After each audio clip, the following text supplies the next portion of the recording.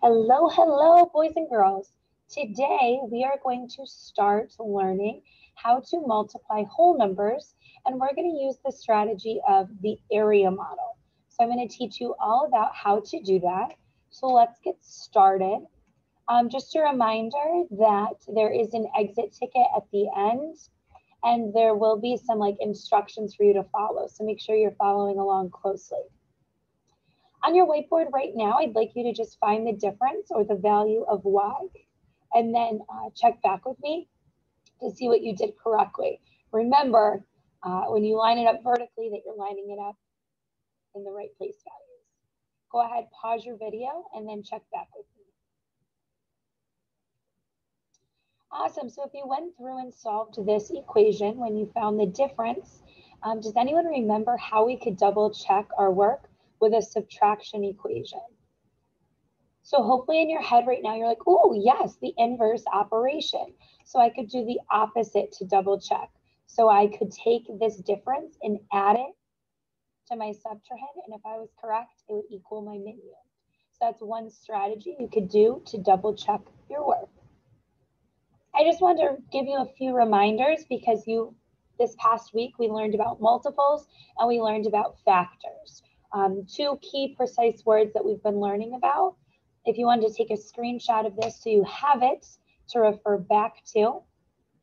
Multiples are those numbers that we say when we're skip counting, and factors are numbers that we multiply to get to a product. Great job. All right, so Mrs. Andrews is going to model for you. When I say model, you say ooh la la. Model. We are going to learn how to use the area model. Now, when I want you to think about area, I want you to think about a specific amount of space. So I'm trying to find the product or the answer of 48 times 6, also known as the value of y. So let me show you. As we start doing this, what I would need to do in a true area model is I would count out 48, 40 blocks. I'd count one, two, three, four, five, six, seven, eight, all the way till I got to 40. Okay? Because I have the number 48. So I would put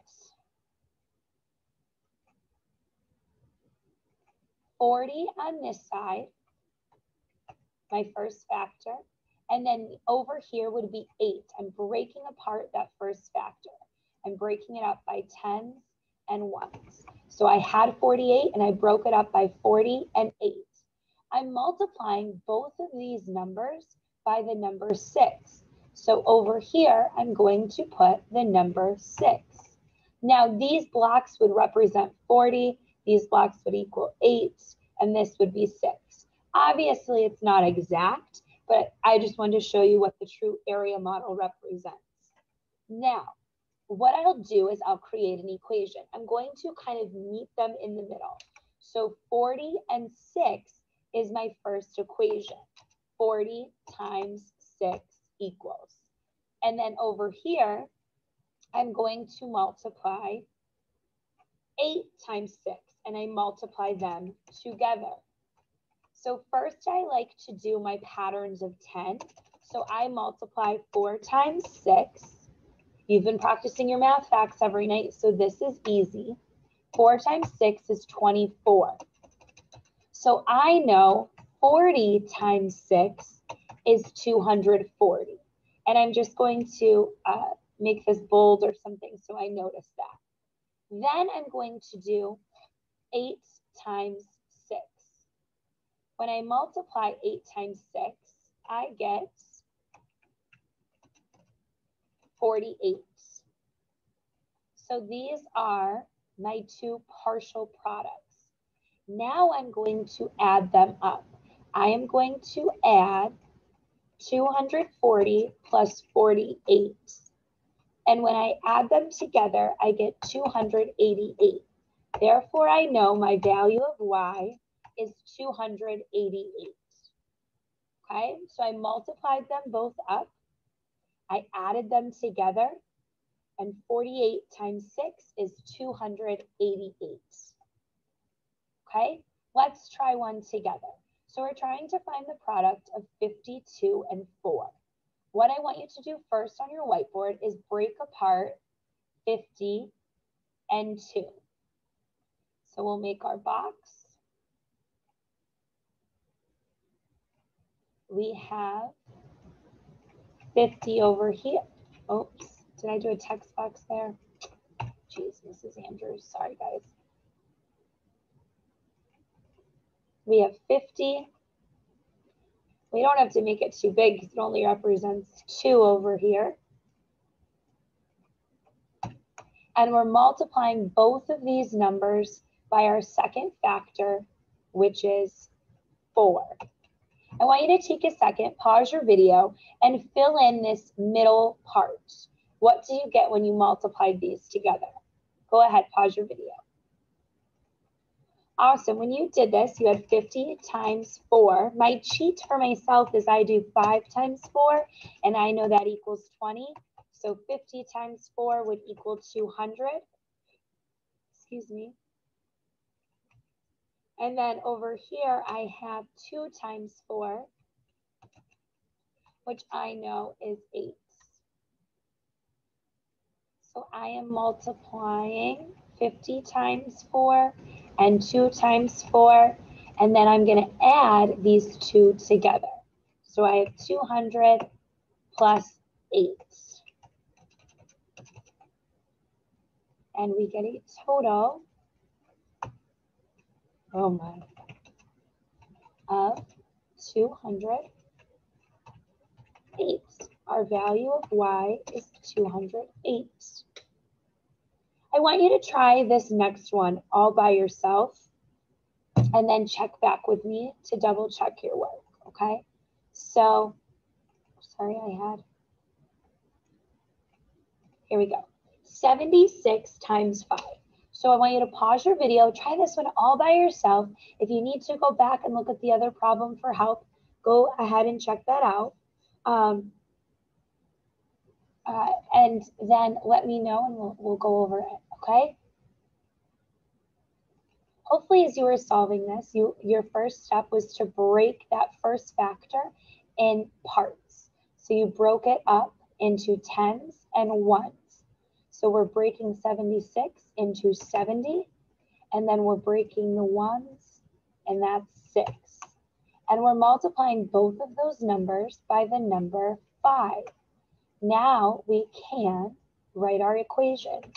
70 times 5. Now, I like to do my cheats and do 7 times 5 because that's easier for me than counting 75 times or counting 5 70 times. So I do 7 times 5, which I know is 35. So 70 times 5 is 350. Then I can do my 6 times 5. Oh boy, the technology is not working with me today. And 6 times 5 is 30. So um, now I'm going to just highlight these so it makes it easier for me to identify which parts I need to add. I don't want you to get confused and add the wrong parts. So we're going to add 350 plus 30. Those are my two partial products partial products. It doesn't give me the full product. It gives me part of the product and part of the product. And when you add them up, it equals 380, giving you a total value of y as being 380. That is your product. At this time, I want you to think of any questions that you may have, or if you're like, hmm, Mrs. Andrews, what do I do here? Or I keep getting stuck on this. I want you to think of that and um, email me if you have a question or ask your homeroom teacher. Now we're going to, on your whiteboard, I want you to simply write factor, product, variable, and area model. These are our precise words that we're learning about. And I need to know in your words, what is a factor? What is a factor? What is a product, a variable, and an area model? If you're at home, can you just email me those answers so I know if you're in the classroom, you can pause your video, hold up your board so I see. I'm going to quickly tell you answers. I'm not going to write them out because then people would see them, but but a factor is a number that we multiply to get to a product. A product is an answer for a multiplication equation. A variable is a letter that we use that we're trying to find the value of, how much it's worth. And the area model is a strategy we use to multiply. All right, your exit ticket for today, it's kind of two parts. Your first part is I just simply want to see your work of how you solved this problem, 39 times 4. So you'll solve it on your whiteboard, take a picture, but then when you go to Schoology in today's math folder, um, you'll see in our exit ticket that it's just asking for the answer of that equation. I just want 39 times 4. But remember, to get full credit, I need to see a picture of how you solved it. I want to see that area model. And then on here, you answered it. So it's two parts, okay? My email's on here if you need it. Everyone should be emailing me. And everyone should be on Schoology putting in their value of y. Guys, great job today. Keep practicing those math facts each and every night because the more fluent you are, the easier math is going to be. Thanks for working hard.